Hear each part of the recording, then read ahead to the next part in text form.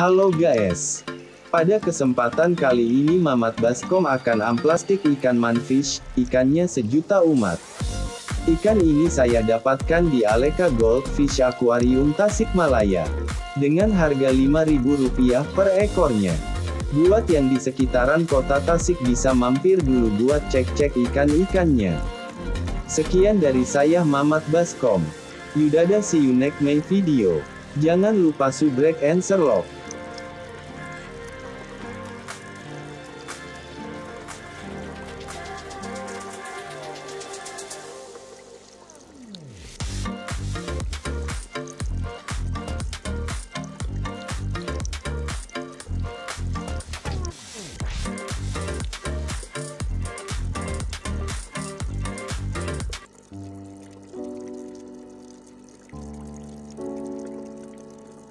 Thank